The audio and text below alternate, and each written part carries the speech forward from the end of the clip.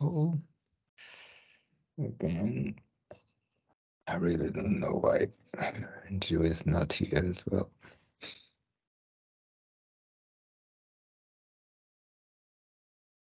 Request to join.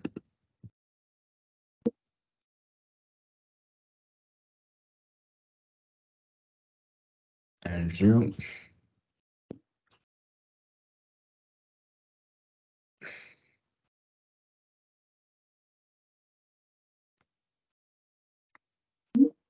Okay, I'm Okay, I'm okay, okay, okay, okay, okay, okay, okay.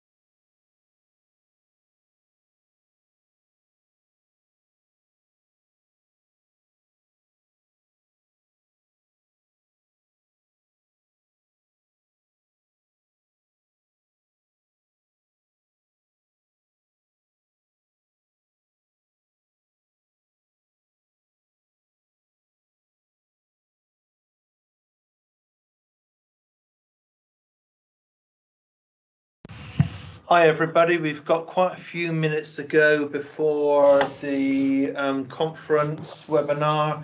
Um, about seven minutes. We'll probably start just after the top of the hour or two o'clock our time to just give people chance to join. So we'll go quiet for a little while. Don't panic.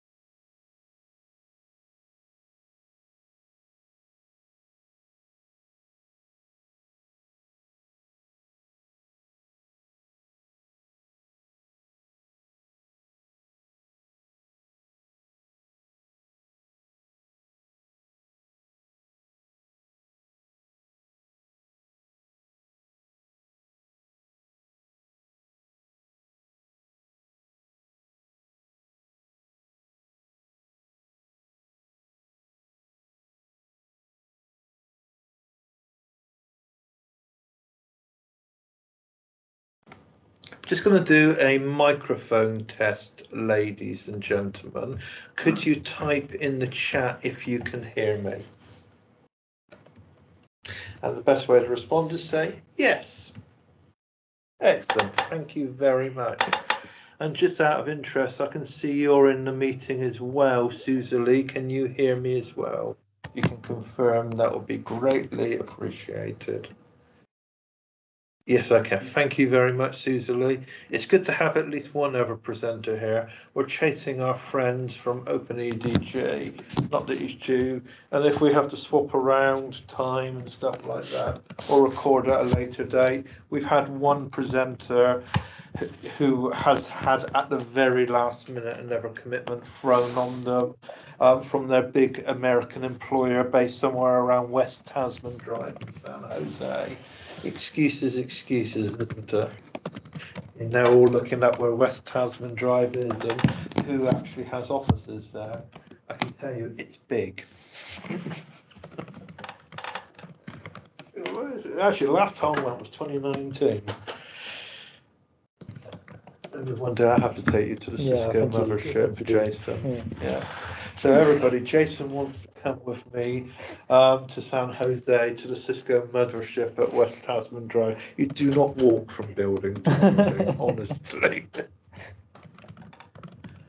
Ah, it's good. So just a dub- another double check. Can you all hear? Um, if so, just say hello in the chat. It's nice to see some different faces this afternoon, or different virtual faces, of course. And we will kick off shortly. We're just doing a little bit of technical admin at the moment.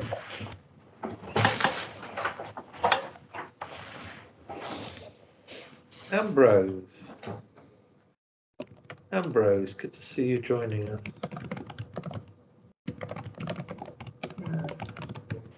There's a few, few names I recognise, a few names I don't, but that's fine. We had a session this morning where we were covering um, applications of Python. This afternoon, we're sort of looking at the bigger picture, yeah, from a sort of Python community perspective. We will start shortly.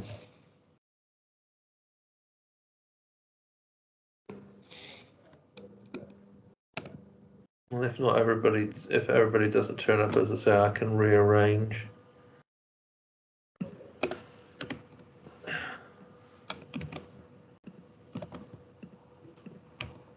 Admin.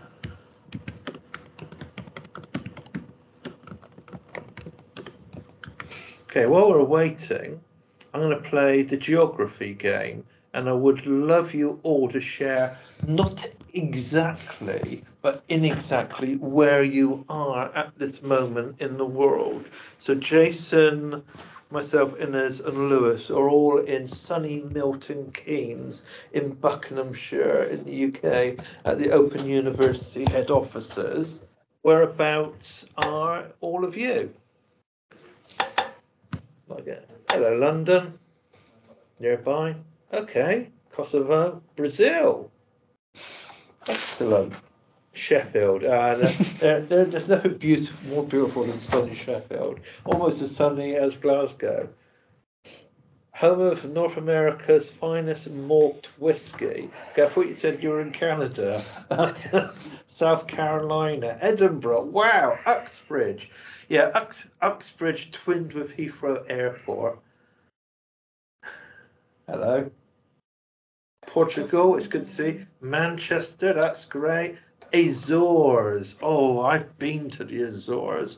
And yeah, been to see, yeah, some of your volcanic. And I've been on the island of San Miguel and the town of Ponta Delgada. I did, did, did really like the Azores. Okay. Yeah, I'm talking about um, the North American continent of USA. Oh, what's going on there? See, I just wanted to do the chat. okay. Yeah, I'm just chatting to the people.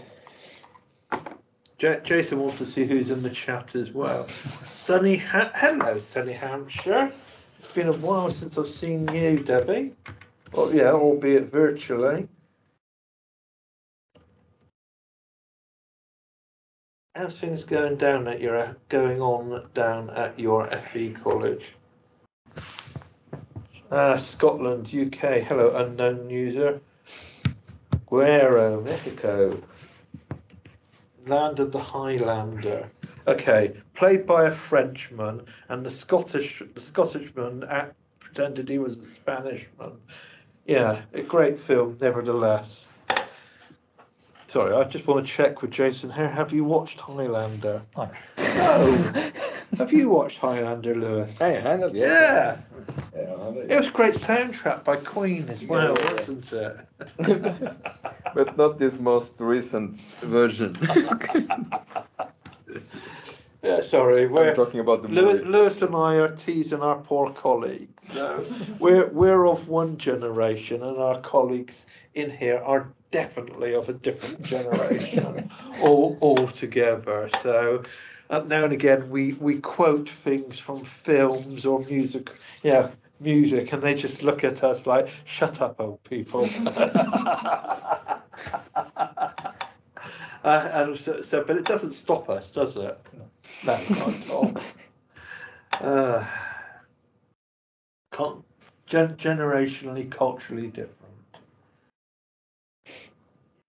Ah, great with the T levels. We've been having some conversations about the T levels and Python in the earlier um, sessions, and we're also chatting to Pearson in the terms where they actually are quite happy that this Python course um, could be used as a core part of the T levels. And we're also chatting to Pearson about the new cybersecurity um, OTQs. So resistance is futile. Okay, yes. Come on, okay, Jason, do you know resistance is futile? I know the saying, yeah. Works I don't know, I don't know where it's from. Hey, yes, yes. So Ines has demonstrated her geek credentials. Always Star Trek. Handshake across the table. You're always Star Trek. Well done. You are now my friend. Thank you. Yeah, I can do most Star Trek quite.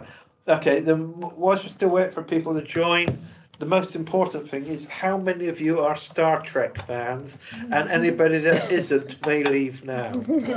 Oh, stay, Jason.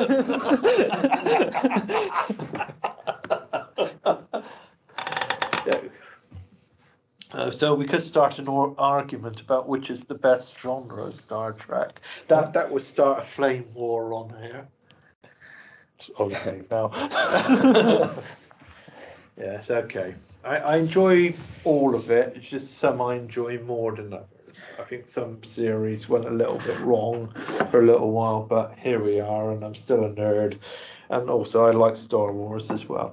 So anyway, we've just been waiting for quite a few people to join. Um, we've got over 30 participants. Uh, oh, Khan. Uh, so you're talking about the Wrath of Khan, the original one, or the Star Trek Into Darkness rebooted universe. I mean, but I am totally with you. The Wrath of Khan is a seminal film in many ways.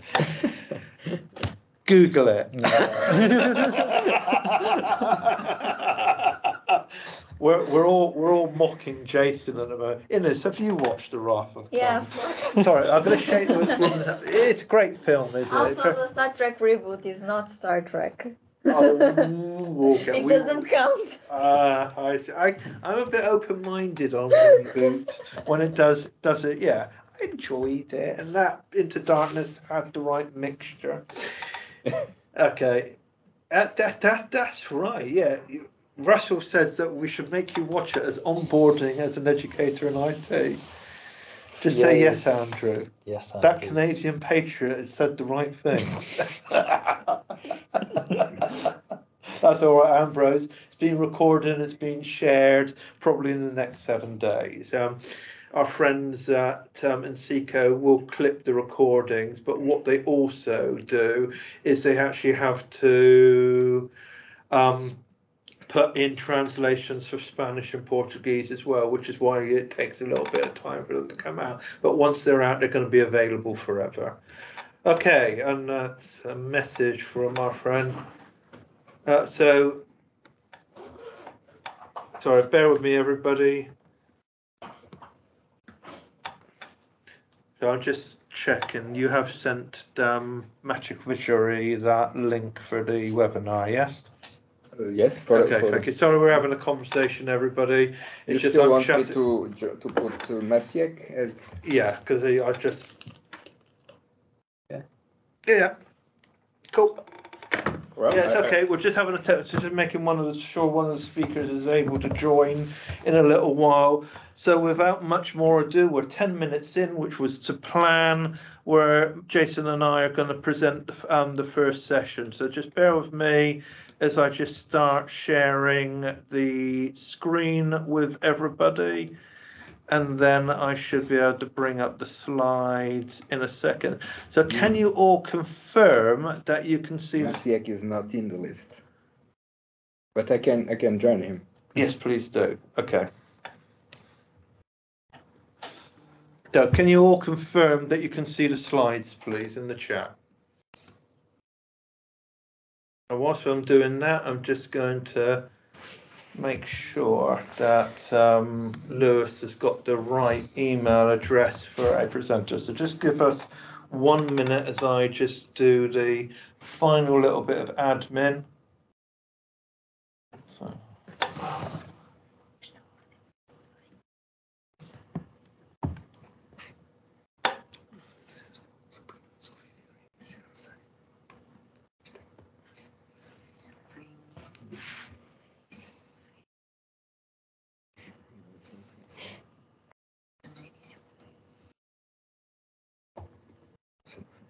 Alright. What I've done, Lewis, I've just emailed you and Maciej at the same time, so just check the CC of the email I've just sent you. Okay, sorry about that, ladies and gentlemen. So, may I um, call the Python conference to order? It's ten past two on a Tuesday afternoon in a slightly grey and overclouded Milton Keynes at the moment, but we call that British weather. Okay, so we're going to kick off the session by just sharing roughly the order, because obviously this will adapt according to the people speaking. Myself and Jason are going to kick off in a moment, looking at our experiences of teaching Python in the world of distance learning. At half two, we've actually got Masha. Ah, sorry, apologies. Mashik Witchery, who is the CEO of OpenEDG, the creators of the Python Institute and the Python course, talking about the global impact. Then at roughly around 3 p.m. UK time, Lewis is going to take probably about 10 15 minutes talking about translating Python into Portuguese and what were the challenges and the opportunity. We'll take a brief break before moving on to Susan Lee Blair Gordon, who is one of our Netacad superheroes, and she'll be discussing exactly her experiences of teaching Python in the classroom before we wrap up and just discuss um, Python and how it will support the present as well as the future of education. A lot which we've actually been doing um, already today in the first session.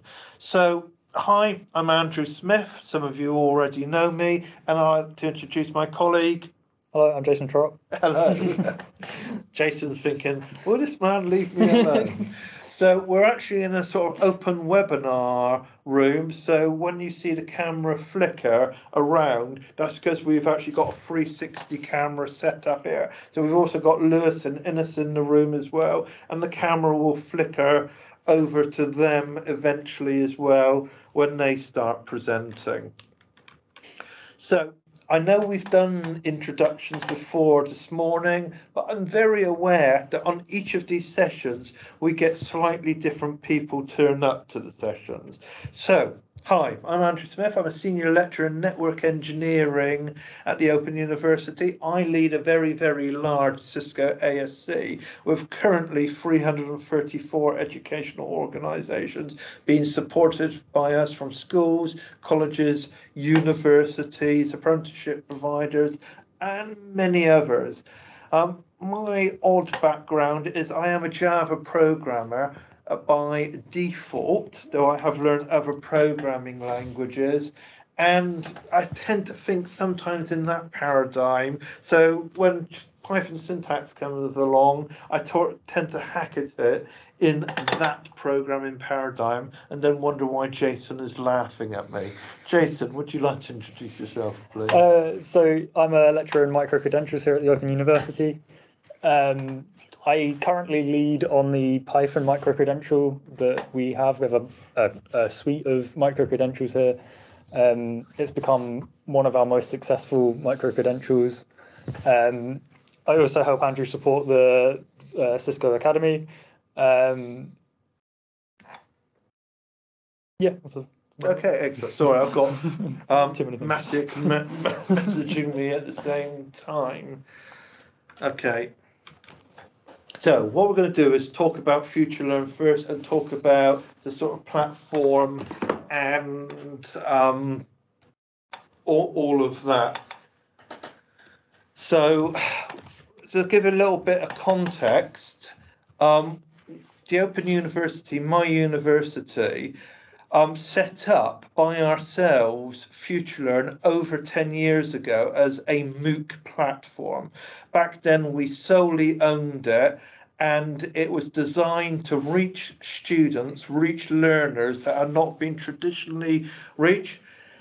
In the time that we have um, created it and put many courses on the platform, we have now sold it. Well, we sold half of it, and now we've sold all of it to other private owners within the um, international education space. Why? Because it was all about development for us. Now we want others to take it on and grow it and grow it in their um, own manner. And it's what we call a scalable MOOC platform, massively open online courses.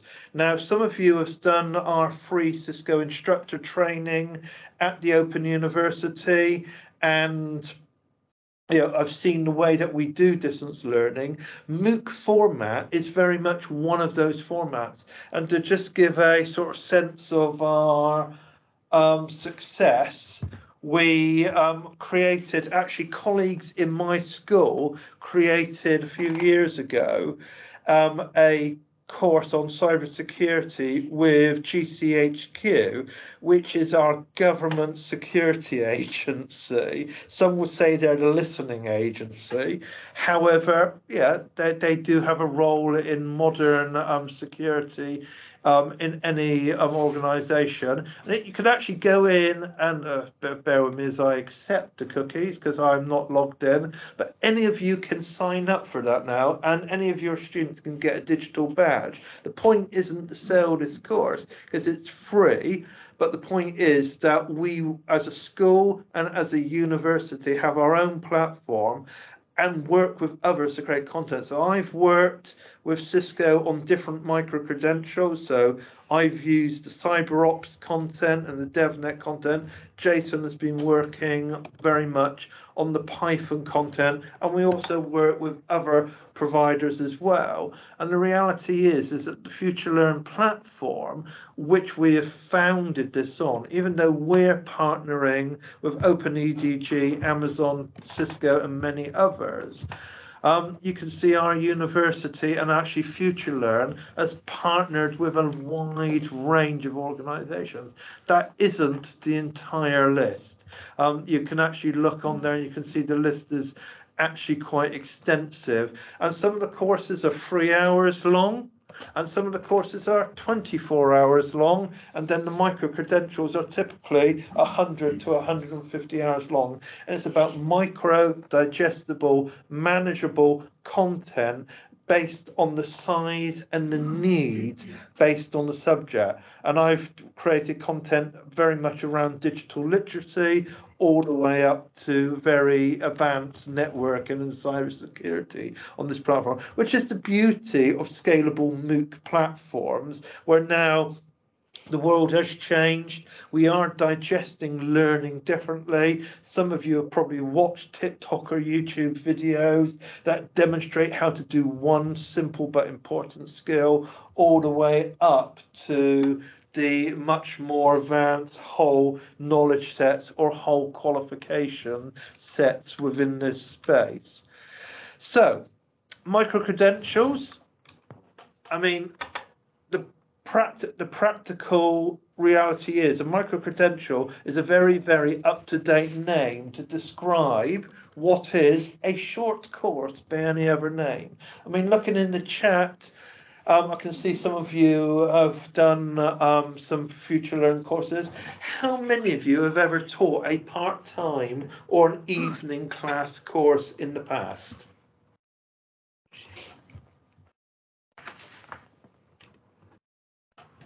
Waiting for the chat at the moment.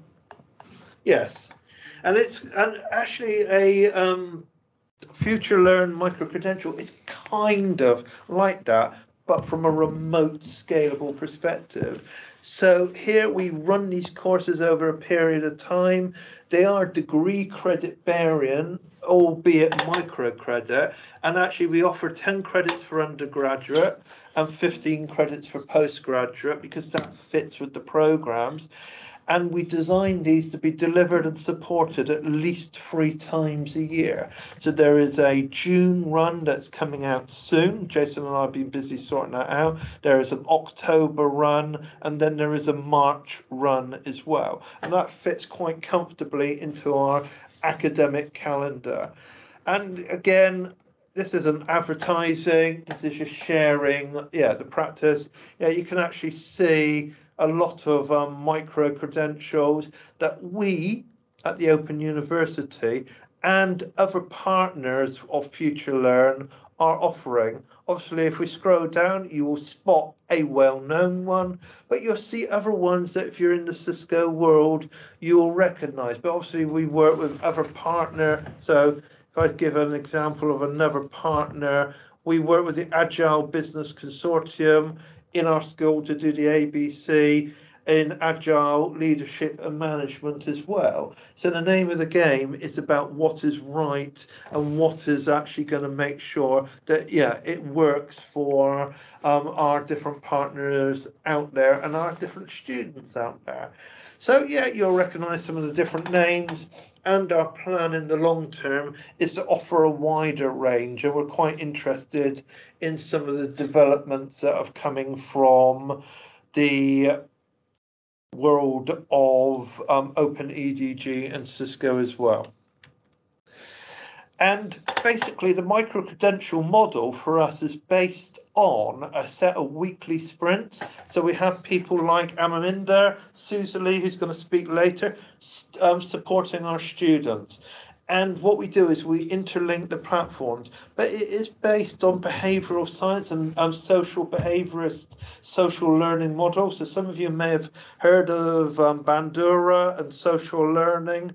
And we actually base our learning design our modality of delivery, even if it's remote, on using that and just changing the transactional distance. So rather than having the transactional distance of the teacher in the classroom delivering direct to students, we plan the remote stats. So I am the lead educator in my courses, Jason, you're the lead educator in yours. Mm-hmm. You've changed the transactional distance to have support educators, then studying the course and working our way towards what's a low cost agile model. And also, what's really nice about the Python course is it also enables us to focus on the employability of the students. The students get a certificate, the students get degree credit, but the students also get practice, experience, knowledge, but more importantly, some level of understanding. And that um, poem example we gave this morning, which will be in the other recording, based around the Ning Nang Nong by Spike Milligan, is based on what that might seem like a whimsical example. We very cleverly built in layers of challenge or layers of complexity for the students to develop what is in effect their employability or their industry skills. So, Jason, would you like to take over from here, please? Uh, yep. So, looking at the assessment that we give students on the micro credentials, uh, we split it into four activities. Uh, so, we have the weekly module sprint uh, results. So on NetAcad under OpenEDG's course, there are um, weekly exams essentially for the modules. We take those results and they're worth 10% of the overall assessment. Uh, bear in mind that that's nowhere near enough to actually get any kind of passing mark on the uh, micro credential. Um, so it's a very small percentage. They actually have to attempt the uh, assessment to get any kind of grade. Uh, we use the final assessment from um, from OpenEDG as well. Uh, it's a practical skills assessment. Um, uh, and you have the final exam within OpenEDG as well. Uh, so together they are 10 and 20%, so that's 30%. Our pass mark is at least 40%. Um, so just looking at the OpenEDG content won't get you a pass. Um, then we have the practical activity, the example from this morning with Ning Nang Nong, um, how to count ends and vowels in that poem. Uh, we have three practicals that the, the student can choose from. Uh, I think we have one on ciphers, one on uh, a poem, and One on prime numbers. prime numbers. Uh, adding prime numbers together, I think, is what we were doing. Yeah. Uh, from a random generator. Yeah. Random generator that detects prime numbers and adds them together the to create a crypto key. Yes. Um, so the practical element is worth 30% as well. Uh, you saw how you could vary those grades depending on the level of effort and uh, competency that the student has shown within coding. Uh, if they've used basic like methods to do the task, if they've used functions or uh, try except statements, um, the more they use, the higher the grade they're going to get. Um, the last section, as it is like an academic assessment, we have to get them to actually write something. So we have the student explain their process um, and the documentation for their code, uh, and that's worth 40%. Um, and overall, most get 60-ish percent. S- Six, 60 to 70. Yeah. Yeah, they're, they're, they're, they're on the, the nice side of the standard bell curve Yeah. for the grades. Um, but we focus on the academic writing as the the higher uh, the higher percentage because it is worth 10 credits on uh, an undergrad course. Before you go to the next slide, Jason, I mean, some of this this design is um, sort of designed to be cunning academically. As Jason has alluded to, the 10 and 20% for using the continuous assessment and the open EDG assessment, there's nothing wrong with the assessment. It's really good assessment. But if the students just did that and learnt by rote, that doesn't make them degree credit worthy. So if they do that and it's worth 30%, we make sure it will contribute to their final grade, but will not pass them. Also, if they can write good code, that's excellent. However, the reason we get them to explain and document their code, this is long before the world of ChatGPT. We want to know that they know and that they didn't get the family cat to do the coding for them. So it's that argument and that justification and that explanation that is absolutely essential here because I, I need to be confident that that student has actually produced those that work. There are other check mechanisms we use as well, but yeah, for simplicity, that is what we're doing um, here in this context.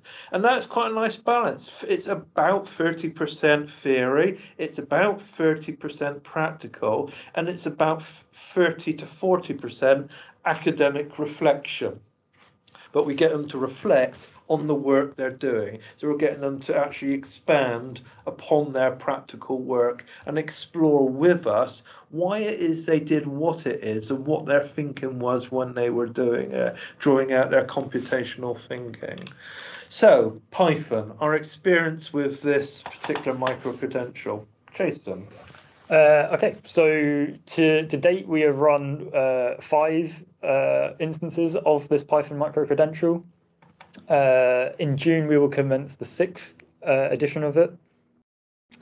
Um, within the Open University's micro credential, it's become the most uh, popular out of all of them. Um, we typically get mm, this is slightly out of date 250 to 300 students at the moment um, on every run that we've had. Um, and overall, we've probably reached about 1,500 uh, students across all of the runs. Um, it's popular for regional funding, so it was it was supported by Scotland and Northern Ireland.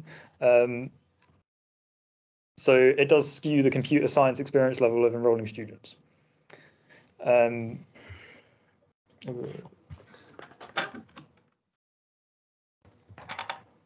we have a retention of around 40% um, on the scale of uh, MOOCs.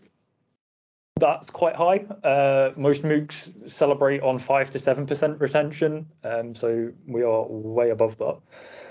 Um, the OU, the OU Cisco ASC um, is MOOC-based instructor training courses have an average retention of 20 to 30%. So you, you can see the the retention is expected to be low, uh, and because we're getting 40%, we're way higher than even expected. Um, we have uh, an excellent range of results from those who uh, submit at the end. Uh, so we have a self-selection bias because those that do attempt the assessment are generally the better students or have learnt the most during the course. Or I would say more confidence. More confident. Yeah. Um, so that self-selecting bias generally means that those people do quite well, and we have a general median of 65 to 75%. Um, first class or distinction grade at the OU is 85%, so we still have that bell curve of mostly We get excited if over 20% get above that Yeah. grade. By excited, questions are asked. yes. and we don't get that and we don't want that and we are very comfortable so I can't, i'm not going to because it's academically confidential we're giving out very broad figures here we're not going to show you our bell curve because that belongs to us however what we have found is comparable to normal undergraduate students our Python students on the micro credential are behaving almost exactly the same as if they were students on a full-time Mm. degree with us or anybody else. Next. Jason was trying to gesture to me to press the button, and I was lo- looking at him like, what? Blank. um, so uh, we we gather feed, feedback uh, from the micro credentials, and generally it's been very positive. Um, almost all of it's been positive. I It's think. all been yeah. positive. I mean, we're not going to say that we don't get negative Yeah. feedback, um, as we're dealing with one at the moment where I can't go into details, but the student who is an experienced programmer, so they say, is complaining it's a bit hard, but we get we get individuals like that. Um, so we've found that 80% of the respondents give us at least a five out of five. Uh, so with a small tail off down below that. Um, I mean, you know, here we've got a publicly unsolicited example of a LinkedIn post that was shared recently um, based on one of our government funded funders funded um, projects and yeah this individual is yeah really chuffed. They've got the credit. They've got the certificate of completion. We hope they're also going to go and take the open edg certification as well. Um, yeah the reality for us is we're trying a scalable route to get more people to learn coding and python for us is one of the better pathways and because we've got the open edg resources and the python institute um, accreditation I think this is the right route to employability and degree credit for undergraduate students whether they're doing a full degree or a micro credential. So, we're going to hand over to our good friend Maciej in a moment, but do you have any questions that you would like to put in the chat forum? Have we all stunned you into silence? Anybody else got any experiences of their own sort of use of Future Learn or um, teaching Python to degree students?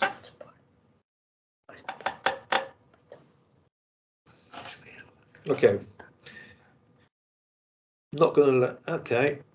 If you're interested in the um, Cisco Educators course, email me on andrew.smith at open.ac.uk and I'm happy to have a separate sidebar conversation. And I will actually put my email into the chat as well. So without further ado, what I'd like to do is introduce you to a good friend of mine, Maciej Wichary, from the Open EDG. He's the CEO. Maciej, are you able to enable your camera and turn on your microphone? Hello, everybody.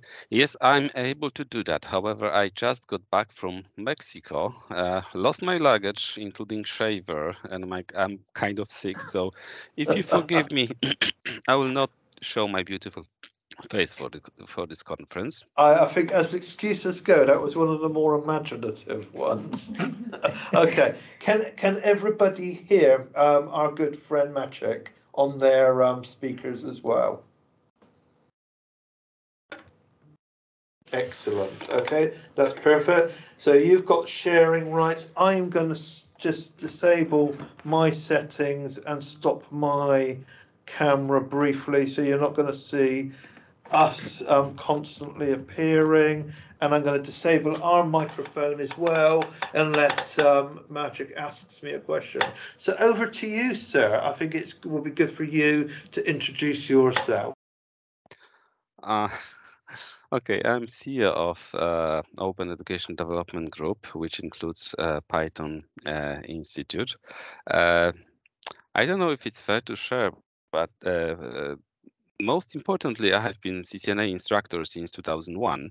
So in a way, I'm also a teacher. I've been with uh, Cisco for yeah such a long time. Uh, I don't know if that makes uh, us the introduction. Uh, so we are here to talk about Python, our courses and our certification. I think this is important to mention that uh, Python is currently absolutely most important programming language uh, by TIOBE index and by PYPL index. Uh, well, basically, those indexes are a bit different. They are constructed differently, but as you can see, more or less, they show the same thing. Python is definitely number one certification. Uh, programming language certification yes in the second. Uh, python is number one programming language uh, uh, worldwide uh, worldwide. All right so about about us.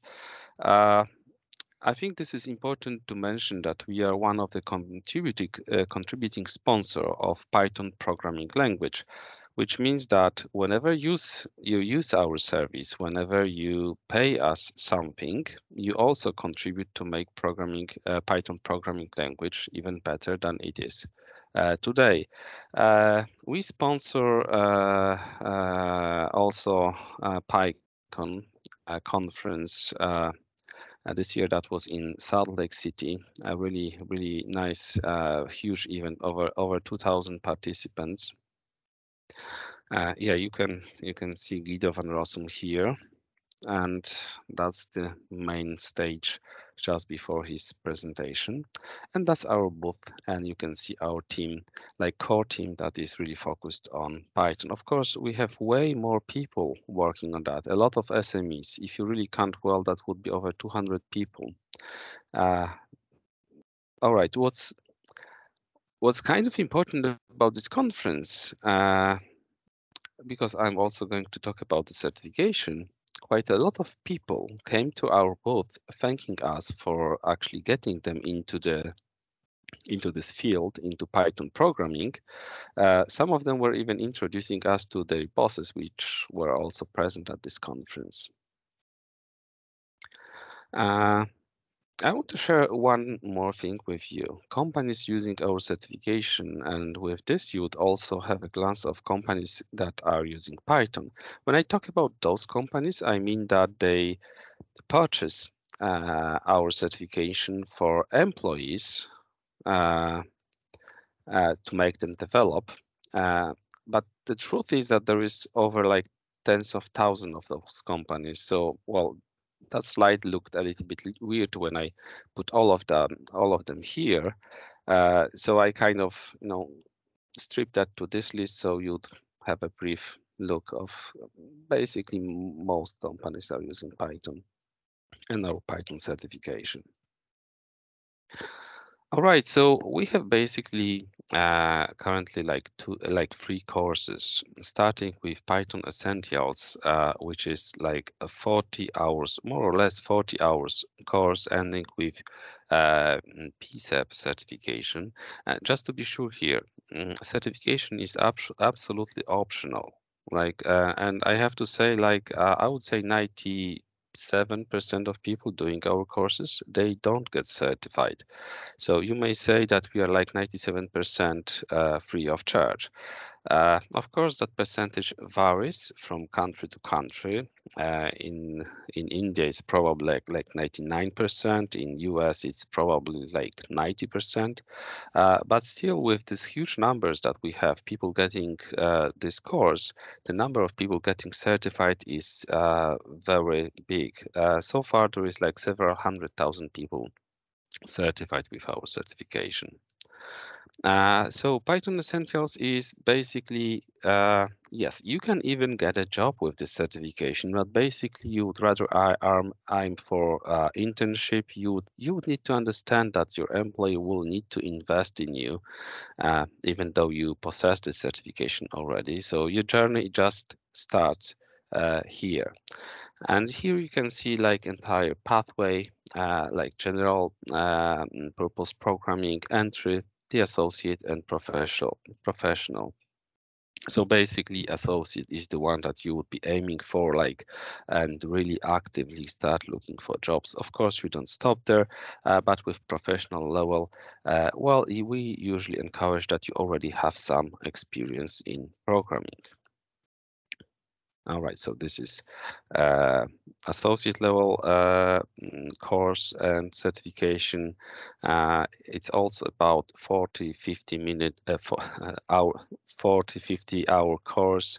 Uh, okay. I want to share one thing with you, and actually it's pretty much the first time I'm going to share that with anybody. we did survey.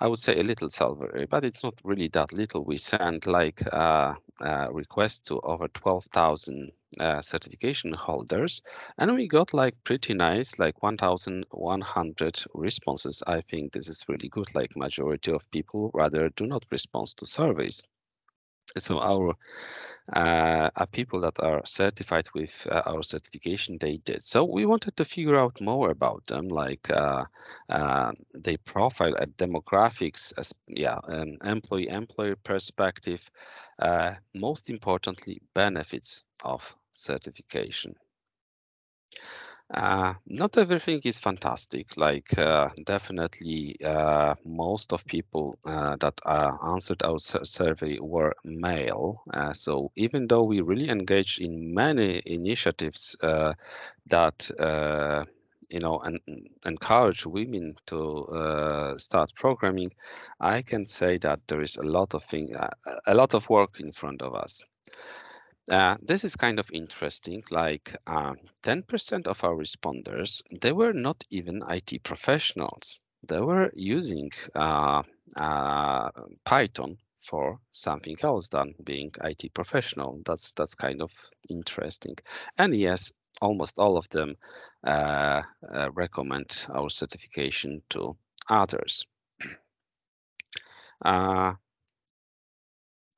Uh, certification made uh, when I say uh, uh, agree or strong ag- agree. It's like uh, combined here.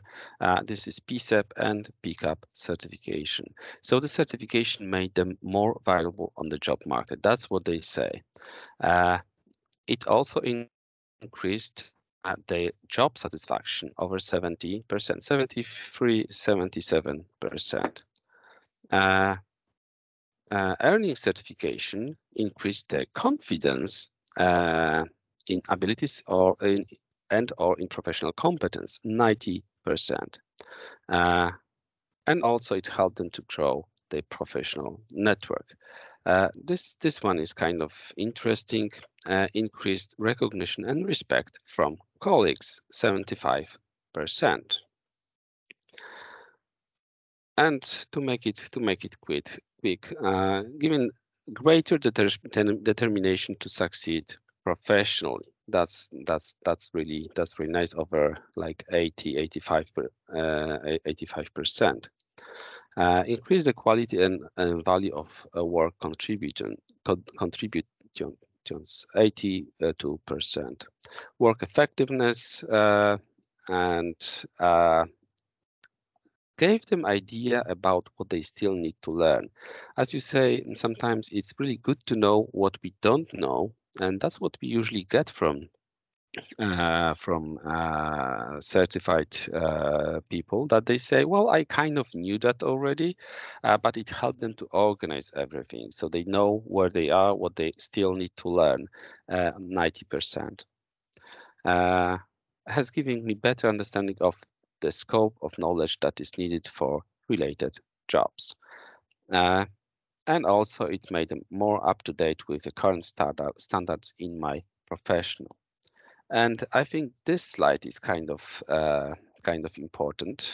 I'm already I only want to jump to this one, but let me go through uh, slowly. So I learned new skills, obtained new competence over 50%. Of course, resume looks better with our certification, 65%. Studies became easier, uh, I think that might be really interesting for you. And yes, this one, I found a job. I found a job. Like, like this is really, I don't know if there is any other program more efficient than, than that, making people finding jobs, but like every third person that got certified got a job. And of course, we have to count people that, well, they didn't really got a job, they already have one. Uh, but this makes me really, really happy yeah, others got promotion in job, got salary increased, and some people and credit towards a degree, yeah, because some universities are actually uh, giving this credit. All right, so mm, just a few words about of what we are working on uh, right now. Uh, pretty soon you will see testing with Python. Uh, that's kind of, uh, you know, Python is uh, widely used for testing like of course you can be like manual tester but more effectively you can be tester using uh, using python writing scripts data analytics with with python and python for network automation all right so uh, i guess if there are like questions i would be more than happy to answer them So straight um, in. Hello, Maciej. Thank you very yeah. much for your brief but very useful presentation. Um, that that data that you collected with all of those individuals, would you be open to uh, not necessarily sh sharing yeah, all of it, but sharing data and collaborating with other organisations to explore the employability prospects element of it? Yeah, I would be delighted to, of course. Uh, somebody's just asking if you can show the last slide again. I think that was a very exciting slide that you rushed through. Okay, yeah. That's a beautiful scene. That's my uh, home, actually. I'm... Okay, if you can full screen that one briefly. This one, so, right? I'd like you're you're talking about these coming out so Q2 Q3 how will our good friends in this community be able to access these when they appear Uh, all of our courses are delivered with our platform, so we can go from pythoninstitute.org and find the access. Actually, all of the uh, platforms that those courses uh, are available from, well, you can start with Py uh, pythoninstitute.org and find everything there. Of course, uh, our courses are delivered with netacad.com, Skills for All, uh, both uh, old and the new uh, Cisco platforms, and of course with uh, with you Andrew and your platforms. yeah but I'm not I'm not here to brag about what the Open University are up to but that's good to share anyway. So these courses are available on Python Institute. Will the courses that you are talking about eventually be available on um, Netacad or Skills for All Uh, of course, it's not always my decision. Uh, I have to negotiate at, uh, with Cisco, uh, but yes, they they really love our courses, too, so I think that will happen pretty quickly. So, so you, you, you're having a positive conversation with Giuseppe and Kamara, yes? Yes, I do definitely. Yeah, okay. I mean, you can't promise anything, but what there is is an intent from Cisco. Um, will it be available Future Learn in the future? Um, at the Open University, we've got some plans, but I am not in a position to share what those plans are at the moment, as we're having an or- organisational, strategic move towards some other developments. But all I'll say is watch this space. But meanwhile, um, it's great to see that these resources are going to be available on Netacad. It's great that you're open to sharing um, some things as well.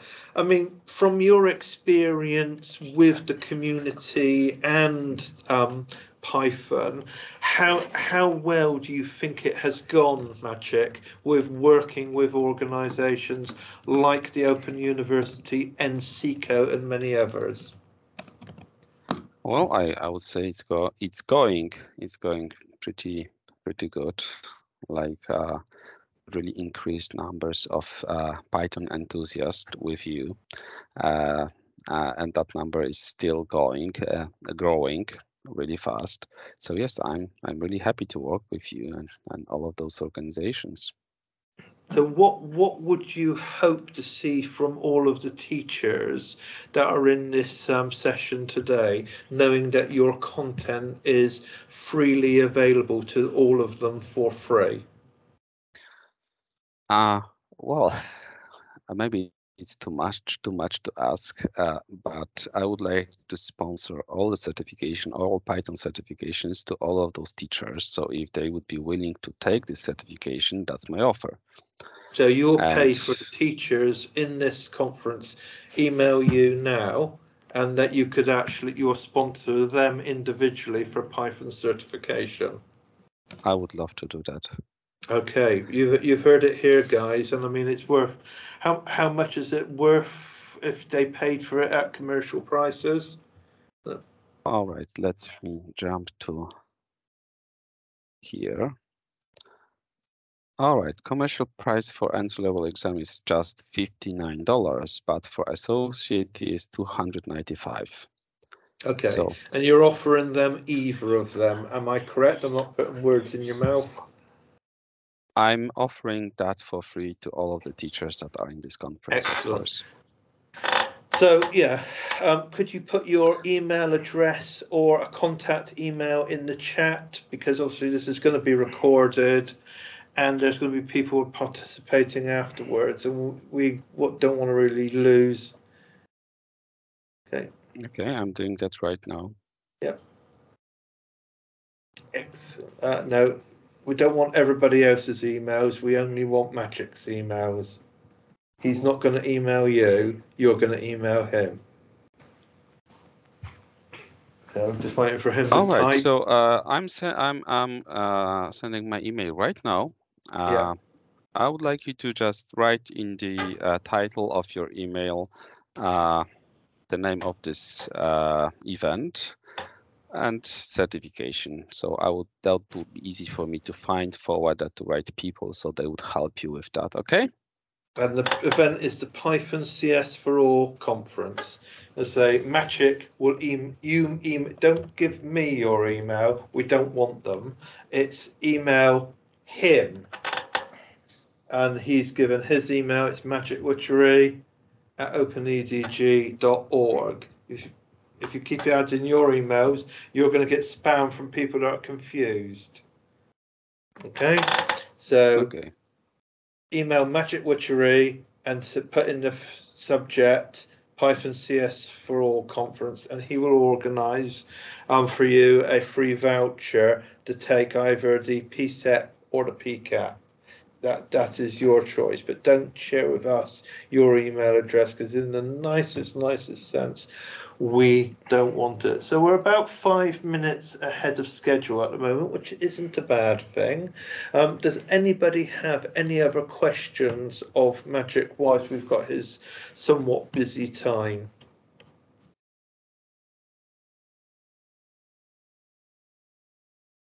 Maybe I will comment here. One, uh, you know, next step uh, we're going to talk about Portuguese uh, version of the course.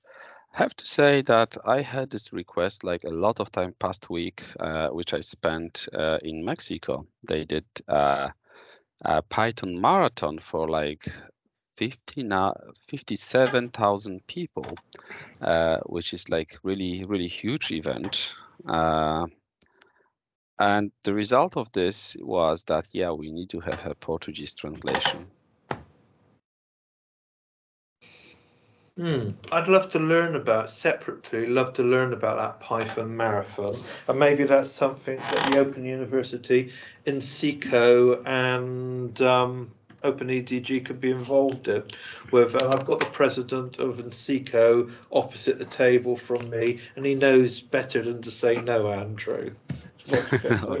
Let's go. Okay. She's smiling in agreement, which is all I need.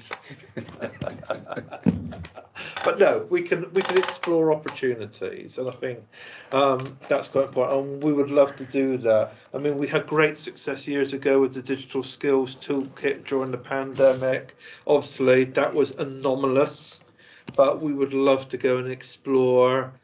Um, yeah, other opportunities, getting school teachers, college lecturers, university, it doesn't matter, but work together in a way that will actually enable Python. And one of the things we've been learning in some of the conversations already is um, there's a qualification called the T levels in the UK. Pearson, the awarding organisation, does the software development T level, and they're very much behind the use of the Open EDG Python content. So soon we might be finding that there is a new space where this content could work quite well for 16 to 19 year old learners. So it's lots of conversations, all positive, but that would be something I would love to loop you in as well on Maciej so that you're aware of what we're up to. So you don't get any surprises in a year's time or a couple of years' time when the United Kingdom are sending you lots of new students and certifications. Okay, on that, I'd like to all of you to sort of just type in thank you to Maciej, and then in about two minutes, we're going to, I'm going to hand over to Lewis, that's going to, who's going to talk about um, their experiences of um, translation. So what I'm going to do now um, is just a little bit of a practical moment. Lewis, are you going to share slides or just talk? No, just talk Okay. and uh, just share two two links. Okay, so you're you're already broadcasting.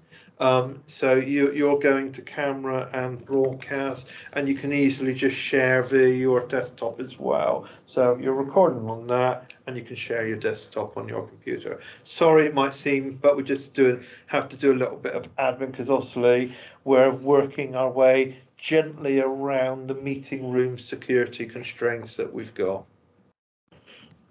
Okay, so may I start? It is all yours now, sir. Okay, so but uh, but instead of sharing my my screen, okay, so I, I will just share with you uh, by by using the chat. I will share the two links One is the platform that have been used to to do the translations of the Python course for the Portuguese. Okay, so this is the XTM. So it's it's a platform that is based again and again as as, as usually nowadays is based on artificial intelligence algorithms. So it tries first of all to translate most part of the contents okay when we are talking about the translation of the entire python course uh, and then we of course use this platform in order to to look carefully to each sentence each each uh, uh, uh item that has been translated in order to produce a high quality translation of a Python course like the one that is produced by, by Cisco. Okay.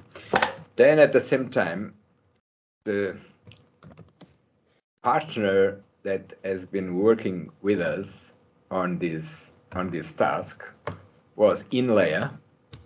Okay, so I had shared also the link to this this partner.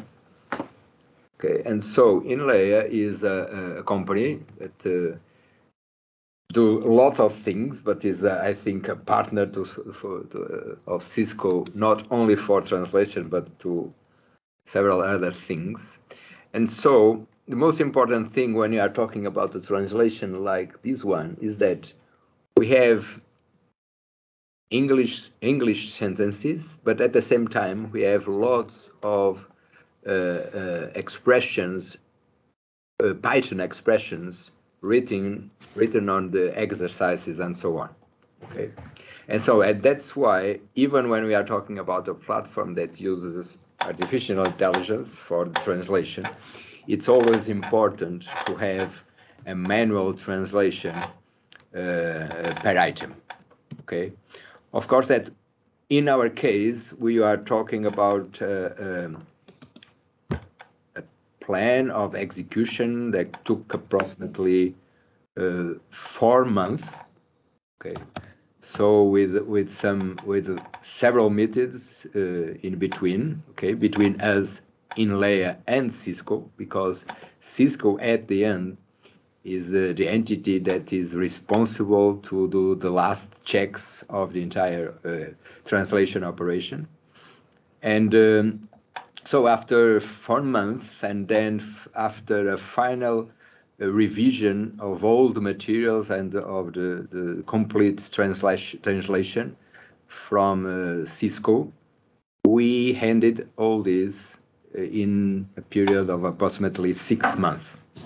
Okay, so of course that we are talking about English to Portuguese. Okay, so we have lots of, of uh, tricks when we are doing this kind of translation but just for you to know that every time we are talking about translation like uh, like this one, okay, we may be talking about uh, four month, six month uh, work. Well, these are the most important things when with respect to, to translation. I don't know if there is any particular question that. I mean, from my perspective, because we're working on a different project at the moment where we're translating some content into a, a local language, Welsh. Wow. Okay, which yeah, it's got its pros and cons, but our Welsh Wales is a separate nation in the UK. For those of you not aware, they do have their own language, and they teach Welsh in high schools, and they want to, yeah, be able to sort of yeah develop Welsh they're having some of the same challenges you experienced. What were the challenges and how did you solve them? Well, well, as I said, the, the big challenges that we have is in particular where we are, where every time we are dealing with texts that combines both English and a language like Python. Yeah. Okay.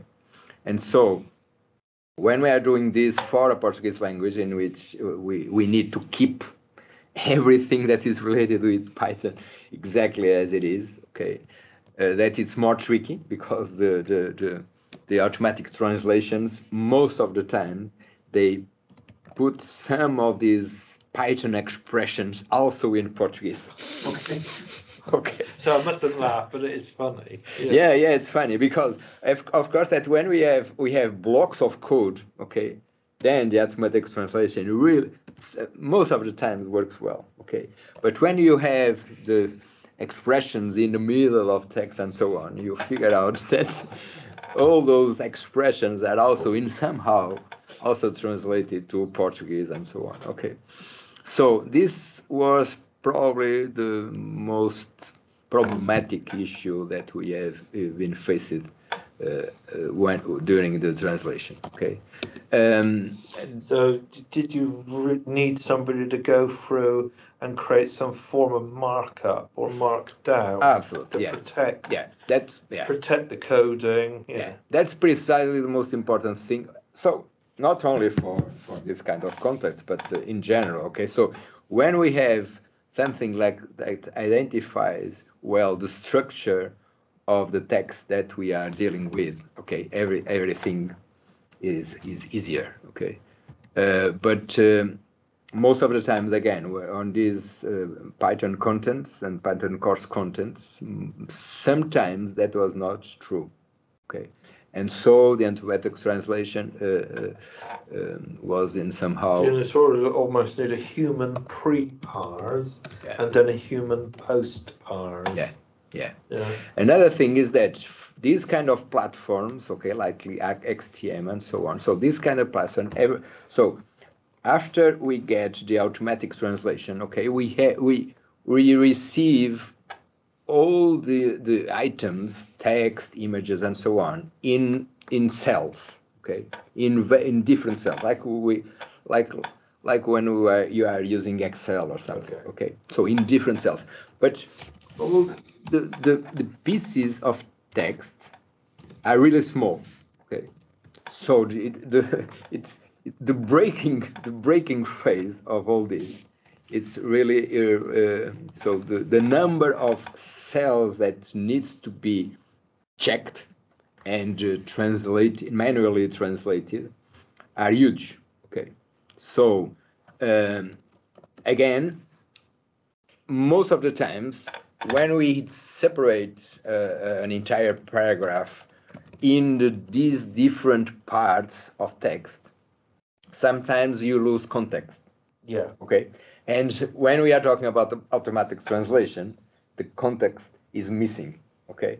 And so you see things that are not related with the the entire block of text you are dealing with It creates it creates a sort of grammatical gibberish. yeah so that in in a nutshell what this means is that yes it's tricky and uh, it's hard work because even when, uh, when we are talking about a starting point okay based on a, an automatic translation but you have lots of small items that you need to check and and and, Yeah. and, and translate manually or or to correct manually and you really need to look at all of them okay so you you cannot assume that okay this part is okay and that other part is not okay So you okay, also you need a proofreader, editor, and rewriter process. yeah Now, I mean, talking to our friends at another ASCO involved in this Welsh translation, it is the syntactical context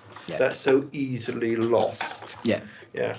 Yeah. I mean, and I mean, we think we have problems just with words like centre and neighbour not being spelled our way. yeah, yeah Yeah. that's correct okay My, my, it must be easy for us.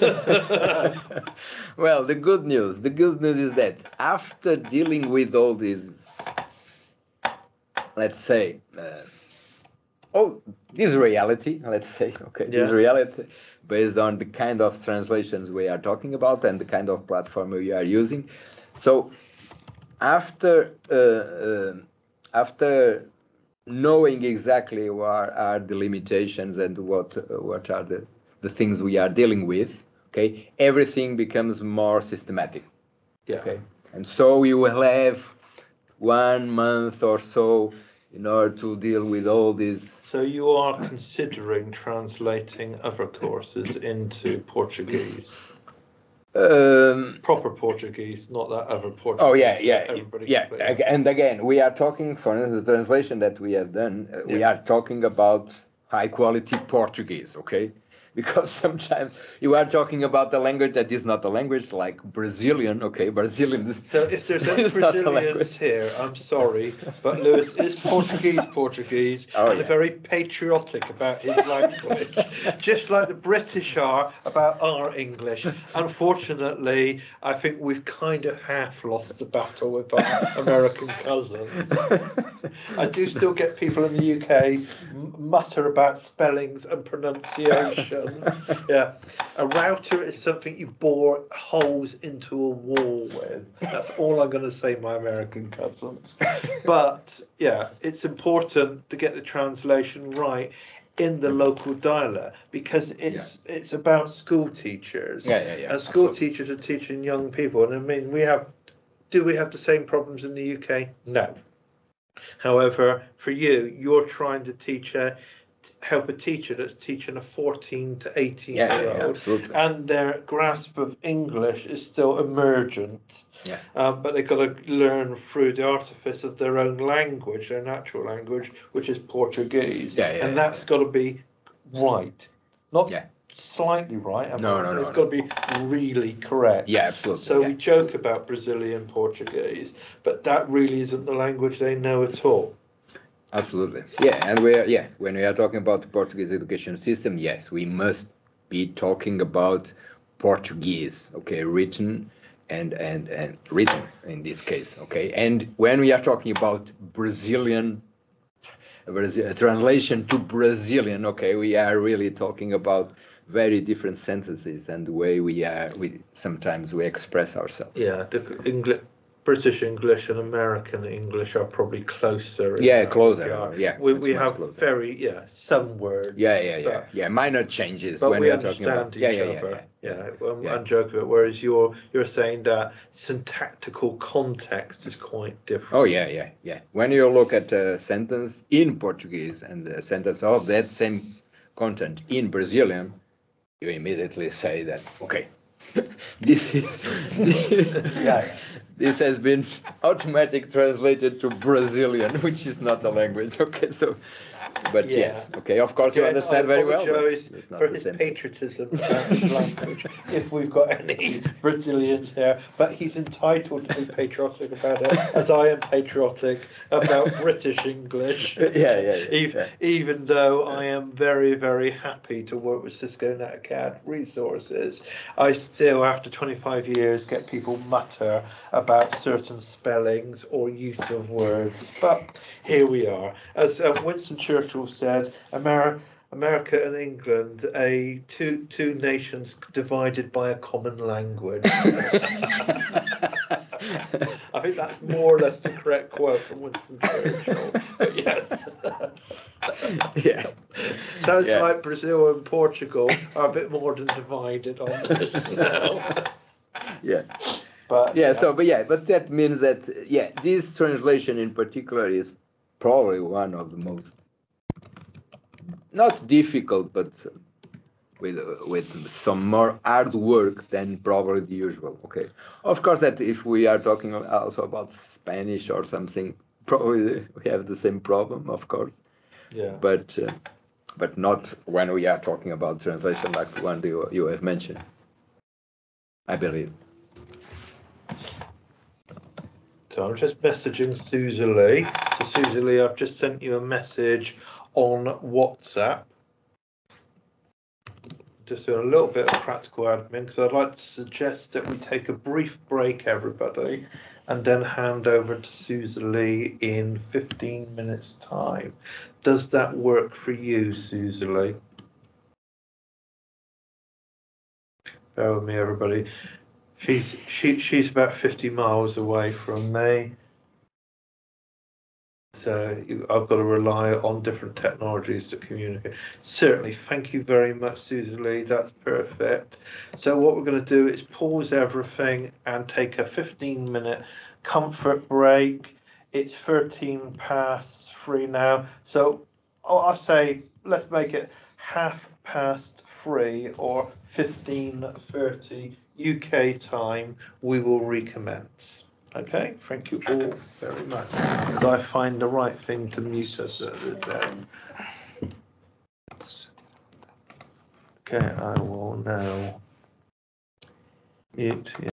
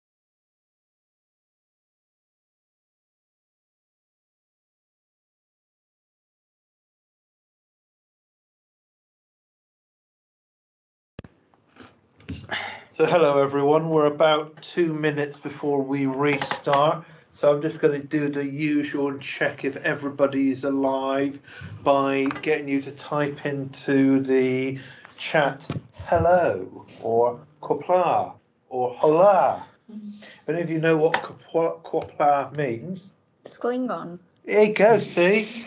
And Klingon for, Hi, hello. I well, they don't, in Klingon they don't I have don't- hi, I don't know. But you're right, it means be well. Glad to check it out. So one of my exercises, sorry, and it it is being broadcast at the moment. One of my exercises I did for my students, this is a long time ago. I actually got them to build a very basic Klingon to English translator using the Klingon Language Institute as a reference source. and I got, I think it was JavaScript. It might be my web dev courses, but and, uh, yeah, it was amazing how they ran off.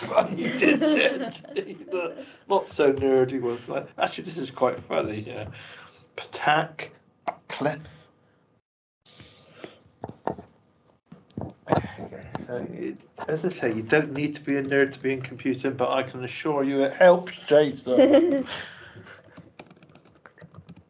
it does, it does. Sorry, it's it's a it's a running joke for those of you. Um, Susie, are you back with us yet? Because obviously you've probably going off and having a a pint of tea. Yes, I'm here. Oh, excellent! It's great to hear your voice as well, Susie Lee. Can everybody else hear Susie Lee's voice? Testing, testing, one, two, three. Oh, we can hear you. One, two, three. And Ambrose has said yes.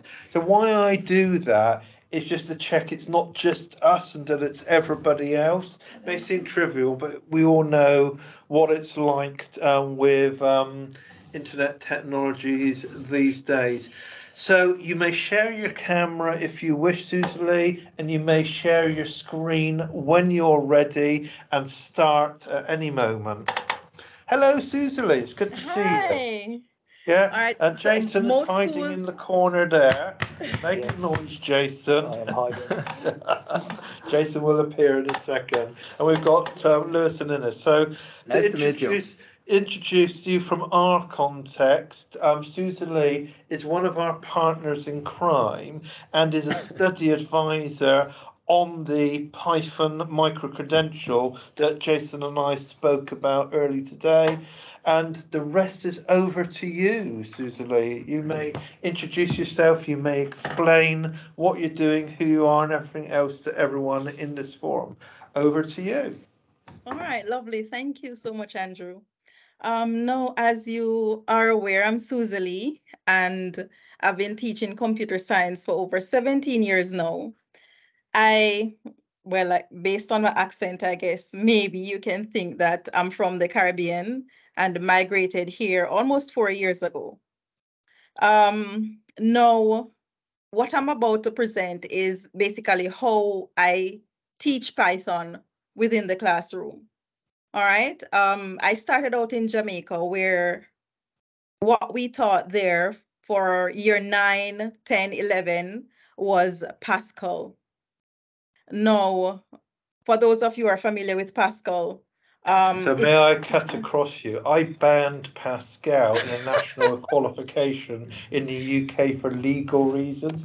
Legally, it was so out of date. But it's lovely to know that Pascal was still knocking around somewhere. Yeah, yeah, it was. Um, so as you can guess, the nightmare of students having to remember to place um, semicolon at the end of each line, um, that was their major error. Now, I was introduced to Python um, about six months, interestingly, before I came to the UK.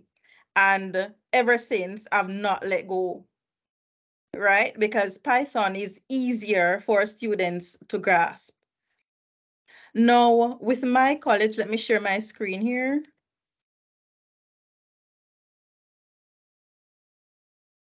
My college here where I am, um, the Sale Studio College, we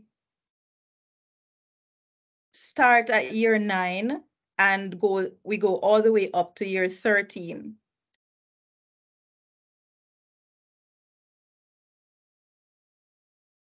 So I'm going to give you the whole gist of it. Now, we offer, we're like a business institution for year nine to 13. And I am the only computer science teacher here. So that means I have total autonomy in how the subject is delivered. Right? So what I choose to do is to use Python for year nine straight up to year 13. So by year 13, those who have been with me from year nine, they fully master Python. Well, I wouldn't say fully because there are always new um, new ideas and new um, stuff to learn about Python. Now, for year nines and 10, I focus on computational thinking, and that includes converting algorithm to Python when we get to the end. So students learn how to decompose. Now, what I do to try to get my students interested in Python itself or in programming in general is to show them or to wow them with the big stuff. So they might see a game that was created using Python integrated with PyCharm or Pygame, and they say, wow. And they might then begin, though, can I do that? And I tell them yes. And that is the truth. They can do that. But what they need to then understand is that they have to start from the basics. And that's where I begin from a simple hello world to learning how to input their name or different data types so that they're able to manipulate different sorts of data. Now, what have helped me over the past two and a half years, I signed up with the net with Cisco NetAcad and they have given me the opportunity to enable my students uh, to learn Python on their own. It's like a curriculum away from my curriculum. Good. And they can learn anywhere. Right. So each term, I give them a course from the Cisco NetAcad to complete. Now, in year nine, all students, um, I make it a requirement for them to complete the Python essentials so that when it comes to my specification, I follow the OCR specification, and these are some bits that we do. Good. And all these Python allow. All right. So by the time they complete their Python essentials with Cisco and I am ready for them, then the knowledge can be transferred much easier using the same um, theory, theory, um, mental model theory where when a content is introduced um, and then they have that previous knowledge, then the content will stick more. So thank you again, Andrew, for introducing me to um, Cisco NetAcad. It's okay, I take no responsibility anymore. All right, now for the for year 11s, um, they would have already completed the computational thinking and converting simple algorithms to Python. Now, why I ask them to convert the algorithm to Python is for them to get the, the grasp, the skill of actually coding in Python because in their exam at the end of year 11, they must be able to use a high level language. That's what OCR says. And they give a list of different language languages, but I choose to stick to Python. I do encourage students to, you know, go out there and explore. Some of them do, some don't. But my thing is that I want them to be advanced and fully developed within a programming language, and I chose Python. Um, so year 11, we go into string manipula manipulation, file handling, list, functions, and procedures. And um, object-oriented programming is not so much on the list for year 11s, but I do introduce the more advanced students to it. Good. No, for year 12, we also include object-oriented programming for them, because they have to learn object-oriented programming for exam purposes and for completing their programming project, which is 20% of their overall grade. So we focus on algorithms and they must know how to create these algorithms, searching and sorting algorithms. They must also be able to identify a particular algorithm. Now, when it comes to year 13 and their programming project, many of them choose to use Python in combination with um, Pygame to create amazing projects.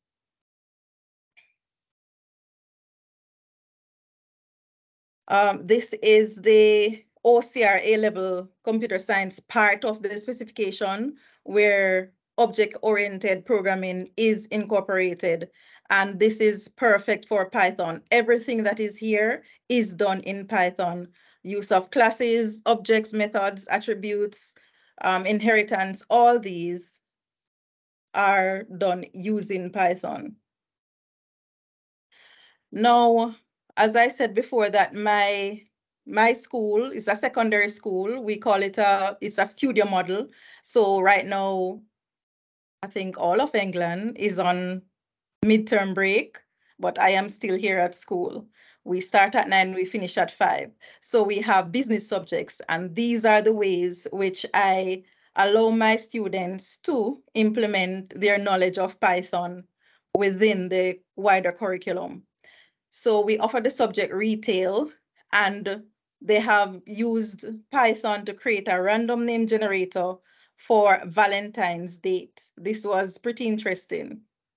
Um, for business studies, they have created an order system and these are students who both do computer science and business. Retail, business, all business subjects are compulsory here.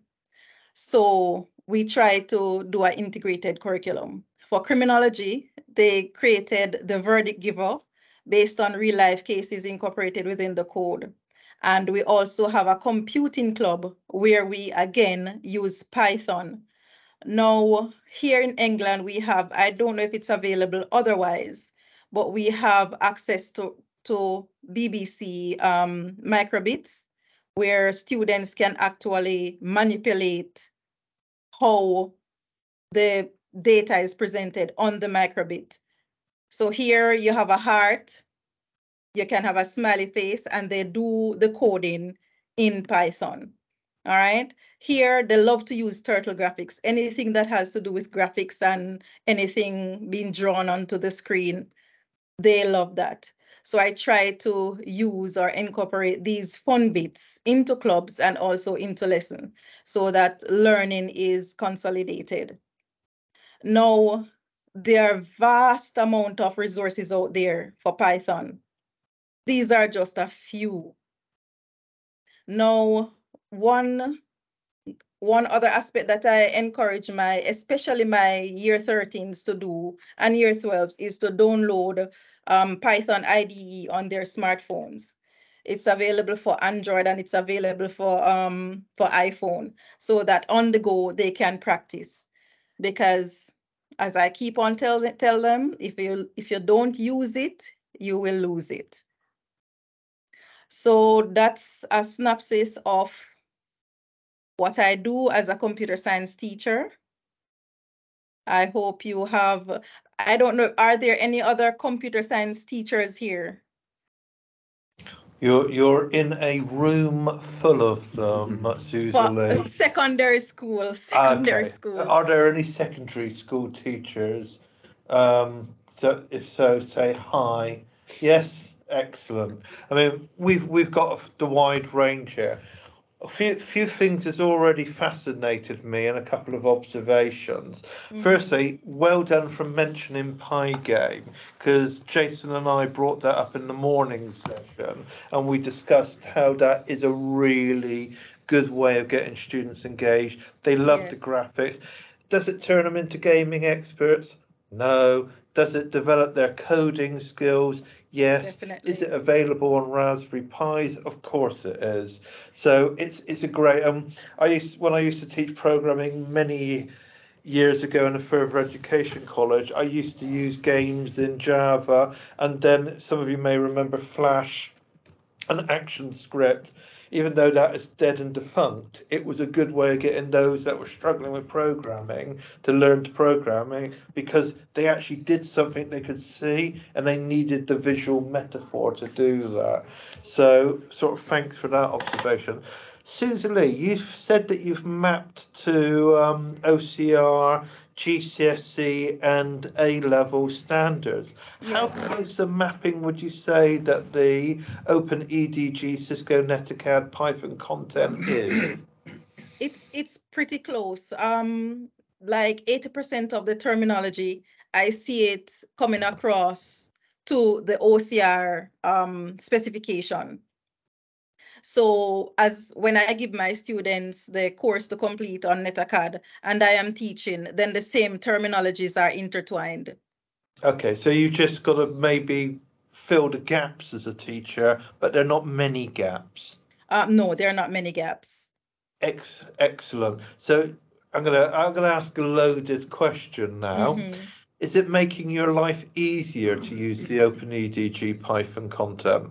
Yes, it is. And Why? it's um I think I think it's holistic because even if for OCR there there are specific terminologies that the students have to use. If you on Open EDG use uh, uses another terminology that opens their horizon or broaden their horizon because they're going out there in- into the world of work where other persons will know other terminologies. So they need to be aware as well. So it takes them away from the academic view of computer science into a little bit more of an employability industry Yes, focus. Yes.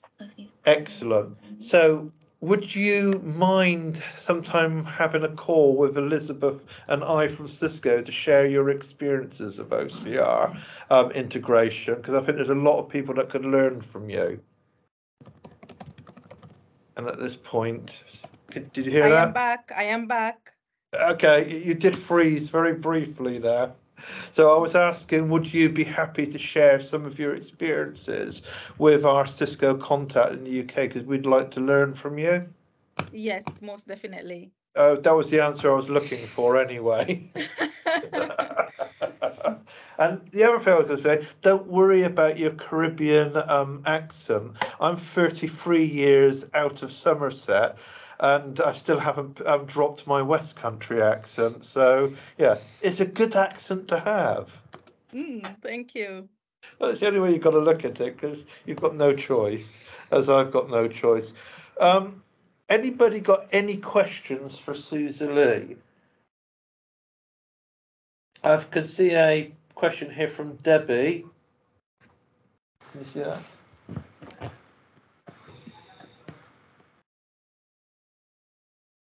Okay, it was more of an observation. So what you're doing is creating an integrated approach to teaching. Yes, yes. How common is that? Uh, it's well, I'm not sure of other organizations within the UK, but this is my first since I'm here, and this is what we emphasize here at the Salis. Okay, so you're you're you're teaching coding for the sake of coding, but then you're teaching coding with uh, some relevant practical application. Yes, yes. with real world scenarios. Mhm. That that scenario where you've got that Valentine's, um, look up, and this is this is a correct thing. Look at correct horse battery staple. Yeah, Jason knows what I'm on. Correct horse battery. It's a good way of developing passwords and Mhm. having multiple names or random words for passwords is also a thing as well. So you could actually link what you're doing for Valentine's to cybersecurity. Yes, yes. Yeah, yes. because it's a it's a random because what people are trying to learn these days is not passwords, it's Mhm. pass phrases. And when I say correct horse battery staple, it's actually the name of a well-known comic, XK um, CD. And you might find that that's actually quite interesting in teaching a little bit about cybersecurity at the same Awesome. time. And you're already doing the activity. You just it's, it's, it's twisting it very slightly differently. So we've talked about the part the microbit is available in Portugal, which is cool. Mhm. I'm up for any technology. Use a Raspberry Pi, an Arduino, a microbit, or a Beagle board, or whatever. We don't care. Um, Susan Lee, would you mind putting? Are you happy to share your email, knowing that at least 600 people might spam you tomorrow? Sure.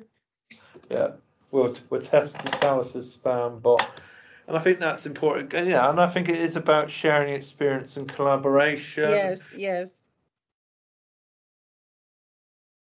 I mean, we when I first took DeSalis on board and Susan Lee joined, yeah, joined and set up the academy, it was very much us showing you what you could do. You've done all the work. You decided how you can leverage it, and you've Mhm. done some great stuff with it. And that's what I like about NetAcad. We do not dictate what you do. We just say, here is what we've got. It's open to you about how you can make good use of it. And Susan Lee is a fantastic example of somebody in an organizational context that's done great work with um, the Open EDG NetAcad resources and linking it to nationally recognized qualifications in the UK. Has anybody else got any more questions? Or observations?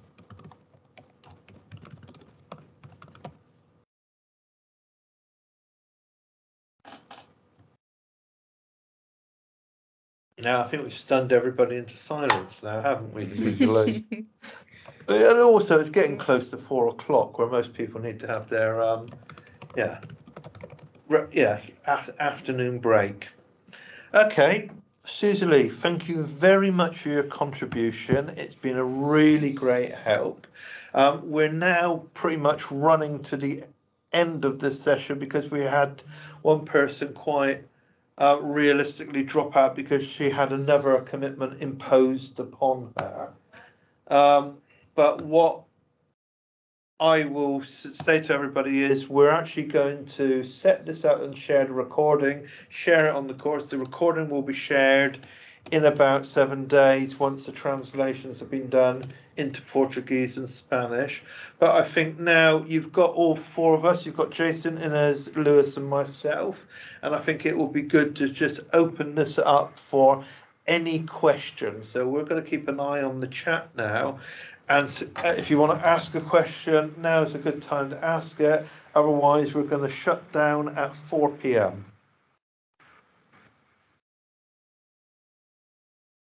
Of course, if you want to go, it's good to see you, Debbie. A few names I do recognise here. I think it's been very well attended. I think the question I have for everybody is based on what you've learned today, would you use the Open EDG to teach your students the Open EDG Python content, should I say? Obrigado, yes. Bom dia.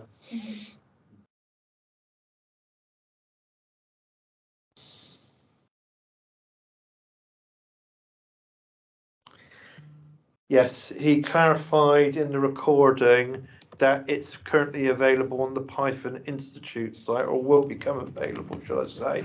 And they're in very positive conversations with Kamara and Giuseppe at NetAcad. Thank you, Debbie. No, it's our pleasure. And uh, it's, yeah, our, our hope is, yeah, as I the question goes, if you can make more of this content or explore some of the other coding content. We're not wedded to Python. It's just that Python's the main focus of um, this current um, webinar. Uh, if you end up using the JavaScript content or the C++ content, um, we, we, we are happy and it's about you utilizing the resources for the benefit of your students.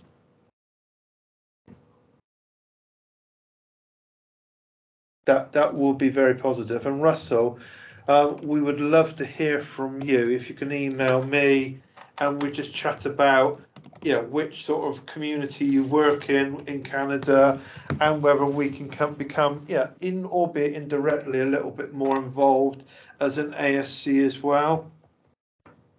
We are picking up academies in North America.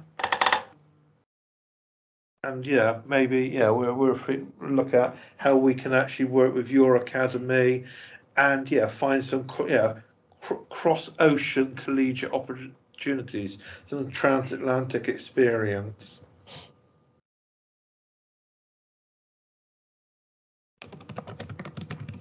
So, any final words from you, Jason? None? None whatsoever. I apologise for my talkative colleague. Lewis, any final words from the president of NC? no, no, just to repeat what you are, you have said. So uh, if you, it, it, it, it's really important for us to get feedback for all the attendees with respect to how they see that we and what we are doing can help them in what they are doing. Okay. And so feel free to contact us, not only by email, but also through our forum in the developing the platform and so on. Because from our side, we will keep in touch because we really love to to explore opportunities together with all of you and to share everything that we we are, are doing and will do in the next in the next uh, few years. Yes, and I will reiterate that. So we are sending out surveys. Um, this is being funded by Erasmus Plus. Please, when we send out surveys, complete the surveys because data is everything when we speak to funders. And obviously, we want to make sure that this program lasts beyond this project and keeping a funder happy to keep you happy is the name of the game. And we're learning a great deal from this process as well, which is great. And we've developed some resources already that we've shared with you in the um, NetAcad um, forum. And if we see more of you teaching coding using any of these resources, as I've said a number of times, then we will feel that this will be a success. Ines, anything you would like to say as a final word? Uh, yes, I would like to recommend people to watch Star Trek. My kind of person. yeah, so the Star Trek course, which is starting today. yes, and if if you do not watch any of Star Trek, The Wrath of Khan is your starting point. Okay. On that, thank you all very much. It's almost the top of the hour, which is fine. It's been great, and we will um, end here and just let everybody say goodbye and shut down in a couple of minutes. We're going to mute.